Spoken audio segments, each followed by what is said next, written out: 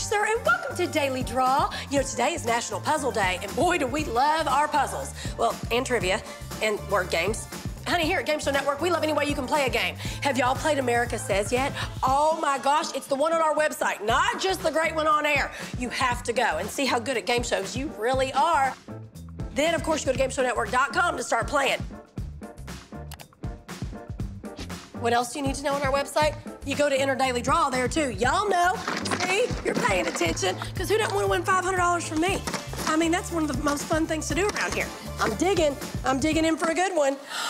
Hey, Viola C from Opelika, Alabama. Hey, girl. Watching us on DirecTV. Congratulations, Viola. You just won $500. We'll be back here tomorrow night at 7 for another Daily Draw. And here comes my buddy Steve with some more Family Feud.